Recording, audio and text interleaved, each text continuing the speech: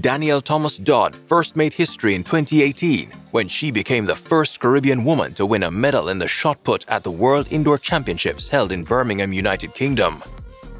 Since that performance, she has remained consistent at the event, and her best moment came at the 2019 Pan American Games held in Lima, Peru, when she threw a Jamaican national record of 19.55 meters to take gold just over a month before taking silver at the Doha World Championships with a throw of 19.47 meters. Since her fantastic 2019 season, Thomas Dodd's performance at major championships seemed to have been fluctuating as she only managed to place 13th in the shot put final at the Tokyo Olympics with 18.37 meters, 6th at the 2022 Belgrade World Indoor Championships with 19.12 meters, 10th at the 2022 Eugene World Championships with a throw of 18.29 meters. Despite having a very rough 2022 campaign, she was able to finish her season with a throw of 18.98 meters to take silver in the shot put at the Commonwealth Games in Birmingham, United Kingdom.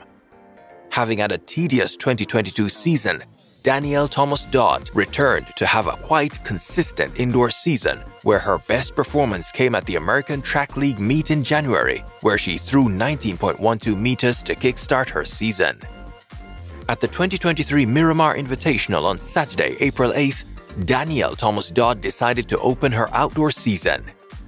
She entered the competition as the clear favorite, where she threw the third best throw in the world for 2023 with 18.48 meters. She went on to have five more throws, but she fouled on three of those attempts and her final throw was 18.40 meters. She ended the competition with the win, as her countrywoman Lloydricia Cameron was fourth with a throw of 16.31 meters. Danniel Thomas Dodd will now look to have a more successful season and hopes to return to the medal podium at the Budapest World Championships later this summer. How do you think Danniel will perform during the rest of this season? Let us know what you think in the comment section below. If you are getting value from the presentation, we would greatly appreciate it if you would give this video a like, subscribe, and turn on the notification bell for our next video. Thank you.